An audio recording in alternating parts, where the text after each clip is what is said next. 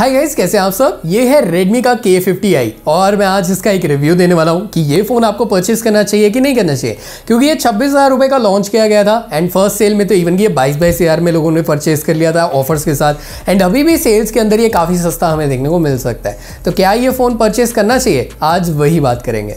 देखो, मैं बी रोज में बहुत ज़्यादा विश्वास नहीं रखता। मैं विश्वास रखता हूँ इन्फॉर्मेशन में एंड मैं इसकी प्रॉपर रिव्यू देने वाला हूँ। मैं बहुत टाइम से इसको यूज़ कर रहा हूँ। तो मैं आपको सही तरीके से बता सकता हूँ, ये फ़ोन आपके लिए है कि नहीं है। So let's start so guys एक ही डिमांड है, वो आप सब्सक्राइब कर दें बेल बटन दबा दें, क्योंकि आपका सपोर्ट चाहिए।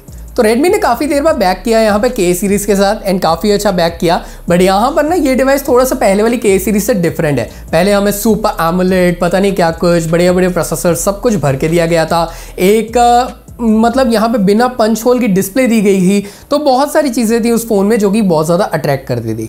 But still this phone also attract audience क्योंकि यहाँ पे जो हार्डवेयर लगाया गया है ना, वो काफ़ी ज़्यादा तगड़ा है। Now this phone comes with MediaTek Dimensity eighty जो कि इस प्राइस पॉइंट पे द मोस्ट पावरफुल प्रोसेसर यहाँ पे मान सकते हैं हम। एंड मैं इसकी परफॉर्मेंस के बारे में डेफिनेटली कह सकता हूँ it's very good U F S के साथ आता है L P D D R five देखने को मिलती है तो हार्डवेयर में यहाँ पे कोई कमी छोड़ी नहीं गई है। So you will feel it कि यहाँ पर पावर जो है ना, वो बहुत ज़्यादा है इस फ़ोन में एंड इसे चला के काफ़ी ज़्यादा मज़ा आता है। एंड अगर यहाँ पर अगर आप डेली टास्क के बारे में बात करें तो वो तो काफ़ी अच्छे हो ही जाते हैं बट अगर आप यहाँ पे हैवी हैवी टास्क कर रहे हैं लाइक आप बहुत तगड़ी वाली गेमिंग करने की कोशिश कर रहे हैं तो यहाँ पे वो भी ये काफ़ी स्मूथली करता है। बीजेएमआई 90 हर्ट्स का यहाँ पे आपको देखने को मिल जाता है। ऑप्शन 90 एफ़ पे आप खेल सकते हो।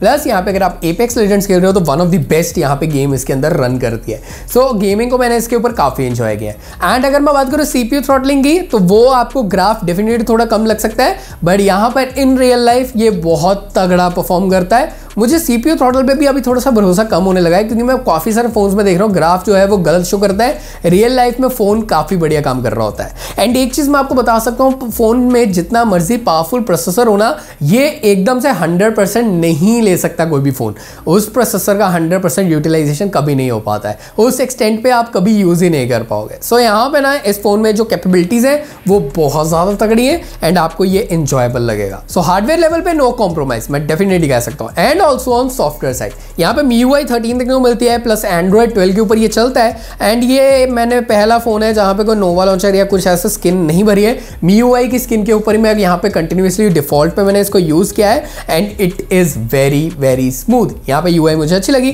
कोई भी एड्स नहीं आई था। स्टार्टअप के दौरान मैंने पर्सनल रिकमेंडेशन को ऑन ऑफ़ कर दिया था ऑब्वियसली एंड हल्का फुल्का ब्लॉट पे जो कि आप अनइंस्टॉल कर सकते हो ईजिली तो उसके बाद आपका फ़ोन जो है वो एकदम से क्लीन हो जाता है एंड ईजी टू यूज़ हो जाता है एंड ऑल्सो कोई आपको यहाँ पे कोई मेजर बग देखने को नहीं मिलता है। बात करते हैं इसकी डिस्प्ले के बारे में। Display is little bit interesting and कुछ कुछ लोगों के लिए डिसअपॉइंटिंग यहाँ पे ये एलसीडी डिस्प्ले है और ये एफ़ टेक्नोलॉजी के। देखो, एक आईपीएस डिस्प्ले आती है, ये उसका एडवांस लेवल है। एफएफएस में क्या होता है, ये थोड़ा फ्लेक्सिबल टाइप है एंड ऑल्सो यहाँ पे ना मैं एक चीज़ बोलूँगा रियल लाइफ यूजेज के बारे में बात करते हैं तो डेफिनेटली आपको चलाने में ये फ़ोन बेटर लगेगा। बहुत सारी एल सी फ़ोन से मतलब इसकी जो एल की क्वालिटी है, वो बहुत तगड़ी है। आउटडोर विजिबिलिटी भी अच्छी है एंड मीडिया मीडिया कंटेंट देखने में भी मज़ा आता है। प्लस यहाँ पे डॉल्बी विजन का सपोर्ट दिया है। नेटफ्लिक्स में यूट्यूब पे एच डी कंटेंट अच्छे से देख सकते हो।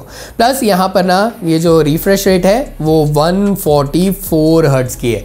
मतलब आपको 120 ट्वेंटी हर्ट्स भी नहीं 144 फोर्टी हर्ट्स की देखने को मिल रही है। तो ये जो स्मूथनेस है ना, ये बहुत ज़्यादा तगड़ी लगती है and I enjoy this phone personally मुझे ये काफ़ी अच्छा लगा डिस्प्ले के मामले में। अगर मैं इसको डेफिनेट साइड बाई साइड एक एमोलेड फ़ोन के साथ कंपेयर करूँगा तो हाँ मुझे ये डिस्प्ले फीकी लगेगी। बट अगर मैं इस फ़ोन को यूज़ कर रहा हूँ, मुझे डे टू डे टास्क में डे टू डे लाइफ में ये बिल्कुल भी यहाँ पे परेशान नहीं करती है। It's a good display design भी काफ़ी हैंडी है। यहाँ पर आपको थोड़ा सा प्लास्टिक टाइप का फील देखने को मिल जाएगा बट मैटे में है, काफ़ी ज़्यादा अच्छा फील करवाता है। एंड यहाँ पे जो कैमरा मॉड्यूल है, कुछ ऐसा आप देखने को मिल रहा है आपको। तीन तीन कैमरा लगे हुए हैं फ्लैश लगी हुई है। एंड रेडमी ने एक छोटी सी ब्रांडिंग पीछे गिरी है, बाकी कुछ भी नहीं है। यार, ये ना बहुत ज़्यादा अच्छा टेक्सटेड बैक है, इसके ऊपर स्क्रैचेस नहीं आते जल्दी एंड प्लस यहाँ पे कुछ स्मचेस वगैरह या फिंगरप्रिंट्स कुछ भी छपते नहीं है। And the silver colour is my favourite ये सबसे बढ़िया लगा मेरे को।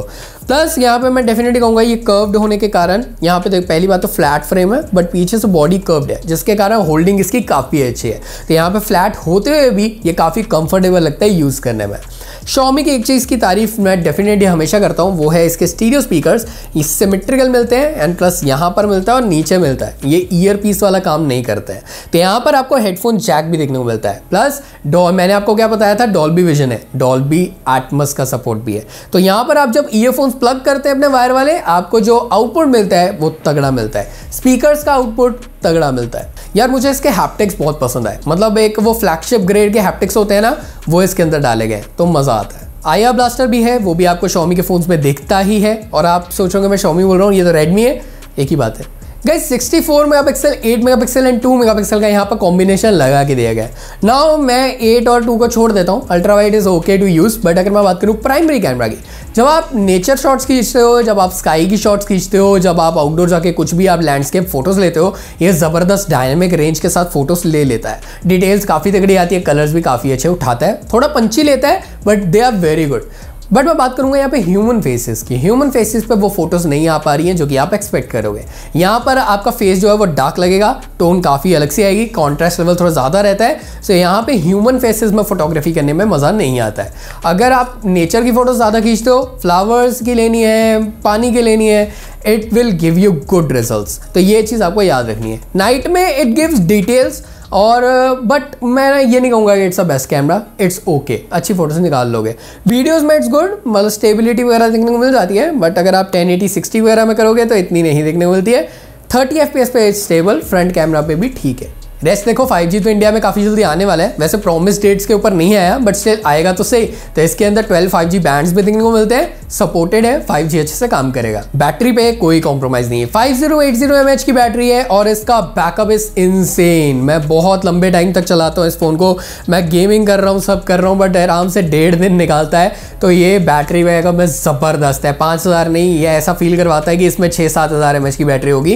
And sixty seven watt is super fast even की अगर आपके पास कोई वन ट्वेंटी वॉट का चार्जर है, आपके पास कोई फ़ोन ऐसा है जिसके साथ आता है तो वो भी सपोर्ट करता है so there is no issue so what about my opinions तो गाइज़ मैं एक ही चीज़ बोलूँगा अगर आपको एक तगड़ा वाला गेमिंग फ़ोन चाहिए आपको हार्डवेयर लेवल तगड़ा चाहिए आ, आपको यहाँ पे डॉल्बी विजन चाहिए नेटफ्लिक्स पे आप एच कंटेंट देखना चाहते हो and also a good looking phone plus अच्छा camera decent cameras but not for human faces ये फ़ोन आपके लिए बना है स्टीरियो स्पीकर्स है सब कुछ है।